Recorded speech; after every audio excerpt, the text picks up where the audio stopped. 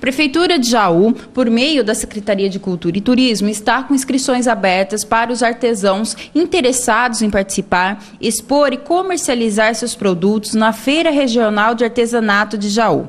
A feira será realizada na Estação do Sol, na Estação Cultura, nos dias 10 e 11 de dezembro, das 14 às 21 horas. A inscrição deve ser feita na Secretaria de Cultura, que fica na rua Tenente Lopes 350. O prazo para a inscrição é até dia 21 de novembro. A secretaria informa que a programação será variada para a Feira Regional de Artesanato, com a presença de grupo musical e barracas de alimentação. Dúvidas devem ser esclarecidas pelo telefone 14 3602 4777.